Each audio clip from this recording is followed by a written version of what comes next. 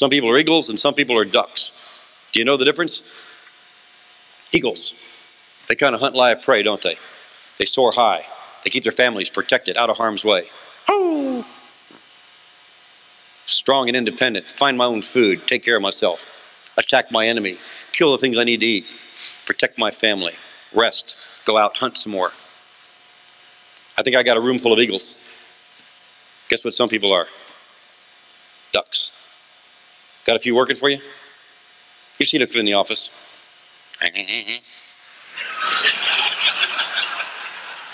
what? You know who they are? You got names already, don't you?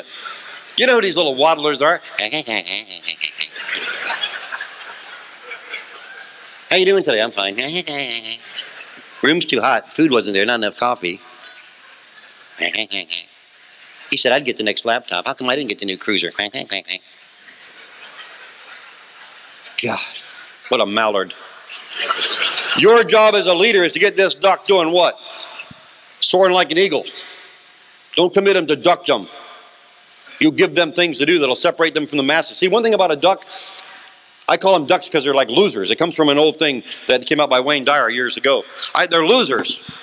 And losers got to be around what? Other losers. So if you get up with your attitude of neutral, guess what's going to happen? Some loser is going to attach himself to you. And next thing you know, you just quit soaring. If you come in like an eagle, they can't get you on the pond, you see. But if you walk in saying, how you doing? Fine.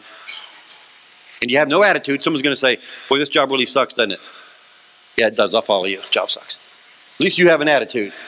You get up with an attitude of gratitude. You get up with a positive attitude. Oh, you start soaring like an eagle. And their ducks are going to look different to you, aren't they? You find them in little patches. You'll never see one duck flying in a V.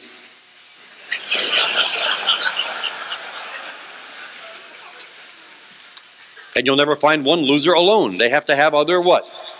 Losers. Look for these little packets and break them up, so to speak. Walk into a store to exchange a shirt. You want a duck? What's the girl behind the counter going to ask you for? A receipt. Sounds like you shop at the same store, huh? We create ducks, don't we? 18 year old, maybe your daughter, your son, you stand here at the exchange booth. When they come in, they want to exchange something. Here's what you say Have a receipt? And if they say no, then you say, Can't do it, no receipt. then they argue with you, turn and point to the sign that says what? No receipt, no exchanges. That'll fix them. What did we just build? A duck. Don't be creative here. Don't see what we can do for customers. Don't act like you work at Nordstrom. Ever been to Nordstrom? I don't like this suit. Well, why don't you pick out a car?